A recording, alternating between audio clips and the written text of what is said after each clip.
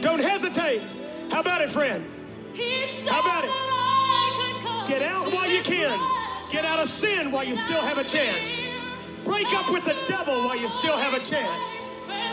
Shake off that ungodly relationship while you still have a chance before it sucks you deep into sin. Right now, give Jesus Christ your life. Give him your heart.